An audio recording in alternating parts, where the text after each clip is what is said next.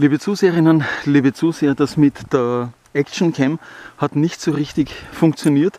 Ich vermute, dass der Akku leer war, weil er war, ja, wie ich weggefahren war, er schon schwach und durch die Kälte dürfte er wahrscheinlich ein bisschen kollabiert sein, aber gar kein Problem, das sind alles Erfahrungswerte, gehört dazu.